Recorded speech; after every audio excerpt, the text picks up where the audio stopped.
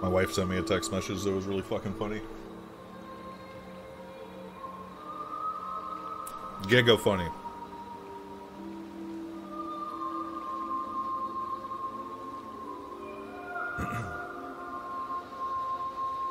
Tell us.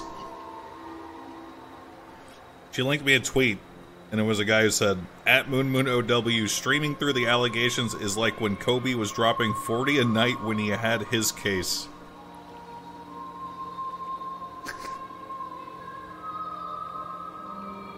What allegations, man? Also, shouts to the, the Black Mamba. Oh.